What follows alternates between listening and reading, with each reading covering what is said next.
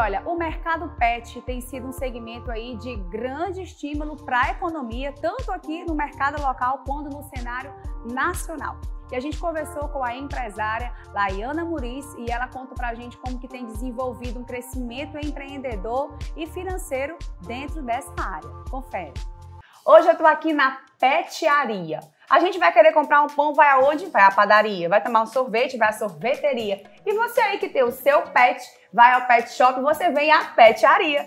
E eu tô aqui nesse espaço maravilhoso. Minha convidada, Laiana Mauriz, ela que é veterinária, também empreendedora e a dona aqui desse espaço lindo, com esse fundo instagramável. Gente, se os pets amam, né? Nós aqui que somos seres humanos também adoro. Querida, bem-vinda ao nosso programa. Obrigada. E a gente queria conhecer um pouco da sua história enquanto empreendedora, desse universo aí pet que tanto movimenta a economia não só é, é, do, Bra do Brasil, mas também a nossa economia local aqui em Teresina. Conta como é que foi que começou e esse amor pelos bichinhos, você é veterinária, né? Já tem Isso. aí uma, uma quedinha, mas enquanto, de, enquanto nesse formato negócio, em ter de fato um negócio seu para empreender, como foi que começou? Bem, eu trabalho na área comercial há 12 anos, né? Então, visitando clientes, visitando veterinários colegas. E sempre nessas visitas já vinha aquela paixão de ter o meu próprio negócio, até porque quando eu trabalhei na área comercial, eu sempre me sentia dono, dona do local que eu trabalhava. Então esse espírito do empreendedorismo, ele já existia em mim há muitos anos, né?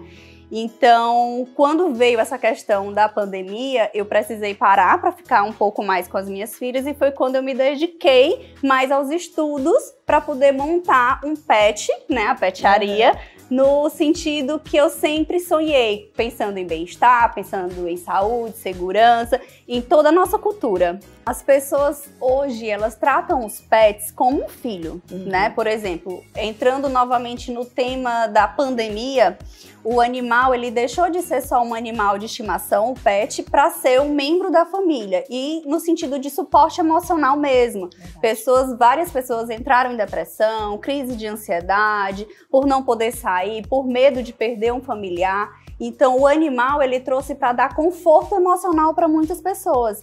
E desse conforto, ele vem junto também com um cuidado pelo medo de não perdê-los também, então as pessoas intensificaram muito mais o cuidado. E os locais que hoje trabalham ainda mais com trazendo essa segurança, essa proteção, esse bem-estar, são os que mais estão chamando a atenção no mercado. Isso foi o que eu mais vi nessa feira que eu acabei de chegar, uhum. né, na Pet South America, que é a maior feira da América Latina tanto para a parte veterinária quanto para lojistas. Maravilha. E lá as, mais, as inovações são principalmente nessa questão de bem-estar, de produtos que tragam melhor conforto, saúde e proteção para eles. Maravilha. E aqui hoje falando aqui da petiaria, o que é que de diferencial quem trouxer o seu pet, seu animalzinho vai encontrar aqui?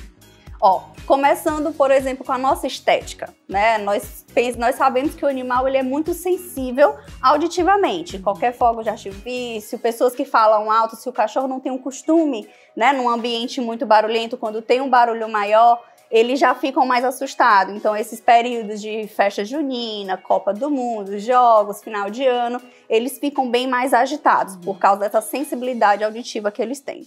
No espaço do Banhosa, a maioria dos espaços dos pet shops, né, que a gente conhece, é uma sala única, onde o animal está esperando, ele já está se estressando com o animal que já está no meio de um processo do banho, usando um aparelho e tal. Então, o que é que eu fiz aqui? Eu dividi a sala em três salas, uma sala de espera, uma sala de banho, uma sala de secagem e eu fiz isolamento acústico, onde o animal que ele está esperando e eu botei é, onde ele está esperando lá, ele já não está tão estressado com o animal que já está no meio do processo do banho. Sim. Além disso, eu coloquei musicoterapia e coloquei crono, é, cromoterapia, que é uma terapia que a gente utiliza as luzes para melhorar o bem-estar do animal.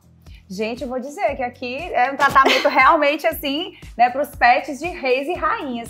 Isso é muito importante, como você falou, hoje os pets, na verdade, eles são parte da família, né? Isso. né? As pessoas se apegam, sofrem e é, é a demanda também de muitos casais, famílias, pessoas que não querem ter filhos, acabam que realmente adotam os animais ali como seus filhos.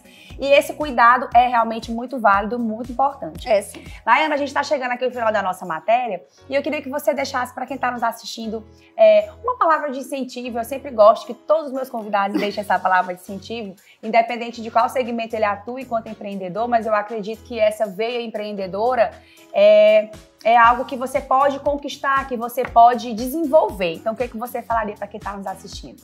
Então, eu, o que eu tenho a dizer para você que pensa em empreender é que se estude, se especialize e faça isso com amor. Porque a arte de empreender, ela é, não é uma coisa tão fácil. Mas quando você trabalha com amor, você consegue ajudar muito a sua família, a você e a muitas outras pessoas. É isso mesmo. Já dizia uma frase, né, que faça aquilo que você ama e você vai parecer que nunca está trabalhando, né? Então, a gente vê que você realmente faz isso por amor. Você está aqui hoje, né, com o seu negócio, cuidando não só dos seus, mas também dos outros pets, cuidando também de outras vidas.